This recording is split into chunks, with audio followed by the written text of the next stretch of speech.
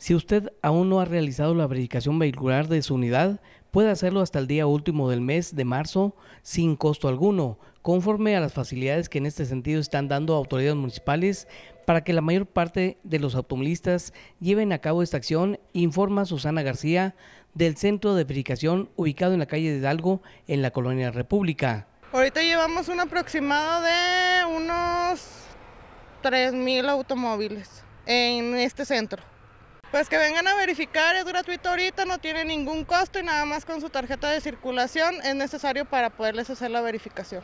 Los centros de verificación, además del de la calle de Hidalgo, se localizan frente al fraccionamiento Chapultepec y el otro en el fraccionamiento Morelos, junto a la estación de bomberos.